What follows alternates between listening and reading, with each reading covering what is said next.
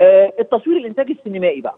أيوه. ده آه، يمكن أنا آه، كوزارة مش معني بيه بشكل مباشر ولكن معني بيه بشكل غير مباشر. ولكن من خلال ترأسي للجنة استعرضنا هذا الملف كمان وكان معانا المعنيين بهذا الملف بشكل أساسي وهم المجلس الأعلى لتنظيم الإعلام ووزارة الثقافة المصرية ومدينة الإنتاج الإعلامي وهيئة الاستعلامات وقعدنا كلنا وتوافقنا على التالي.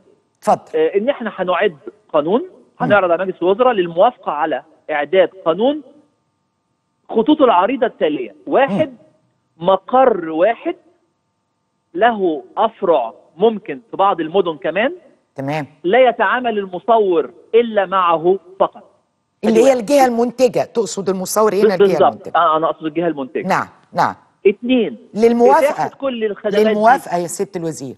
لا يا فندم حضرتك مش هتتعاملي إلا معاه هو بس. حضرتك هتتعاملي أصلا والتوجيهات اللي عندنا من غير ما تيجي أصلا لو أنت أجنبية هنعمل لك آه، portal تعملي upload لكل ال documents اللي عند حضرتك من قبل ما تيجي آه. وتاخدي موافقتك قبل ما تيجي كاملة من جهة. واحدة أقصد جهة واحدة ملهاش تاني حضرتك لن تتعاملي إلا مع جهة واحدة تمام. الجهة واحدة دي قدام ورا بقى الجهة دي اللي هتجري ما بين كل أجهزة الدولة كل واحدة تعمل آه، واجباتها وتاخد آه، تصريحاتها ومستنداتها المطلوبة وكل حاجة وعلى فكرة الناس ما عندهاش مشكلة تبعت المستندات والباسبورات وال... والفيلم لا لا والسكريبت خالص. خالص هي الناس بتتعب من إيه؟ إنهم بيروحوا يتكلموا مع ناس كتير بالظبط المرة دي بالظبط. مش هيتكلموا إلا مع مكان واحد فقط المكان ده ليه وظيفة واحدة إنه آه. يجيب لهم كل موافقات الدولة ويديها لهم ياخد منهم إجمالي الرسوم هو وهو اللي يوزعها من ورا بعد كده ثلاثة انه يحدد مدة زمنية معينة. خليني أتوقف عند إجمالي الرسوم ده لسه غير متفق عليه.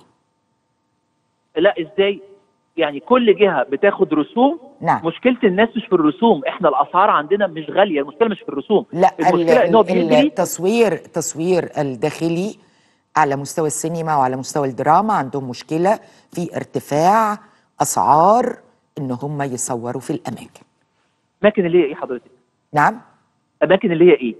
أماكن سواء شوارع سواء أماكن سياحية سواء في النيل سواء سواء أنا أقول. لحضرتك بالنسبة للأماكن الأثرية اللي أنا معني بيها آه. حضرتك الإنتاج بيجي يدفع عندي أنا تحت في وزارة الآثار في الزمالك في الدور الأرضي آه. 50000 جنيه في الشهر. بيصور 30 يوم ببلاش. في ب 50000 جنيه في الشهر. يعني اليوم ب 1600 جنيه. تمام. هنا بقى بنتكلم على أي إنتاج سواء سينمائي درامي تسجيلي. أي إنتاج أي إنتاج ما عدا البرامج الحوارية آه، المحترمة عشان نشجعها دول بيدفعوا بضع مئات قليلة جدا عشان دول أيوة. ليهم دور مختلف. نعم. لا البرامج غير الإنتاج السينمائي واحدا. والفن. أيوه. أنا بتكلم على الإنتاج السينمائي. بقول لحضرتك الإنتاج السينمائي المصري نعم. لو عايز مني شهر الشهر ب 50 ألف جنيه. تمام. ودي عمرها ما حصلت ومفيش ما افتكرش أقدر اعمل تحفيز أكتر من كده. تمام. ليه ع... والإنتاج الأجنبي ب 150 ألف جنيه يعني 8000 دولار. الشهر تمام تمام. طبعا فأنا الناس كلها المنتجين لكن أنا دخل مكتبي كبار منتجين العالم. نعم. وأنا وزير آثار نعم. كانوا دايما بيقولوا لي المشكلة عندنا مش الفلوس. ولا مشكلتنا الآثار. تعدد جهات الموافقة. والشوارع والأماكن العامة وكل جهة لازم يروحوا لها فده الهدف من الكيان اللي إحنا هننشئه طب أيوة. الكلام ده ليه ما طلعناش قرار بيه النهارده آه عشان كل جهة من اللي بتاخد التصريح هي مش بتعمل كده اجتهاد ده نعم. قانونها بيلزمها بكده.